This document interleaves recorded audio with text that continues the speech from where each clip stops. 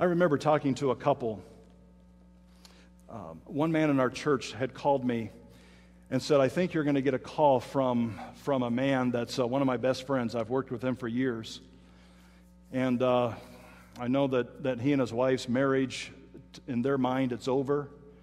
And they, uh, they're ready to contact lawyers. They're ready to call it quits. He said, But today at work, I just made one last plea with him. I said, Would you be willing to go talk to our pastor? And this man said, Sure, I'll, I'll, be, I'll do anything. But he really kind of thought he was just kind of checking the box. And so I do get a call from this gentleman. John is his name. And John and his wife came. I said, Meet me tonight in my office at 7 o'clock. So they did come to the church. They met me at 7 o'clock. And uh, make a long story short, they had all kinds of problems in their marriage, all kinds of things that happened, all kinds of things that are not good things at all. But that first night, instead of talking about all those things, I said, I do want you to know God gives you hope for all the things that trouble you. But there's something that troubles you there's, that you may not even know so much, and that is your life, your soul in relationship to God. Because the greatest problem you have right now is not a bad marriage.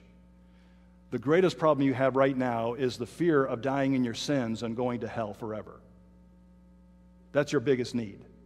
That's what you need to have addressed. So I had the opportunity to open the scriptures and to share with them step by step what God has done for us through Jesus Christ, that Jesus died for their sins, that he would give them new life because he's raised from the dead. And we took about an hour plus and we went through that. They asked a few questions. And, you know, every time you share the gospel, it doesn't, it doesn't always happen like this quick. But both of them that night, they looked at me and they said, We are lost and we want to be saved. So the Bible says, whoever will call upon the name of the Lord will be saved. So right there we bowed, and both of them very simply cried out to God, believing in Jesus, and asked God to save them.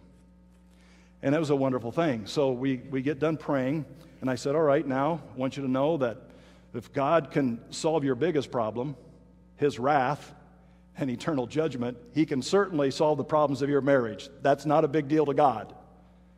And so I said, let's set up some times and let's get together and let's start talking about this. And the wife, she said, I would love to do that. But when I tell you what I do for a living, you won't want to talk to me anymore. I said, Really?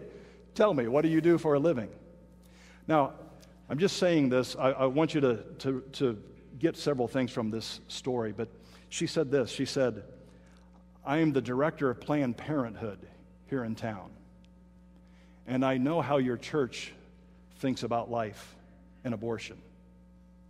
Now, as I thought about that later, it, this is the blessing that came to me as I thought about that, because here was someone who knew people as their good friends in our church so that they knew what our church thought about life and yet they still went to these people when they had problems. They still went to talk to these people. And I think, isn't that how all of God's people should be? That people know that we love truth, that we love life, that we embrace truth and life, yet are the kind of people you could come to to talk to when you have needs in your life. So I was so blessed to, to later on think about that. But when she responded that way, I said, Look, as long as you are willing to let Jesus be Lord of all of your life, as long as you're willing to let Jesus challenge every view of morality you've ever had, we'll have a wonderful time meeting. She said, It sounds good to me. And these were her words I've done it my way long enough.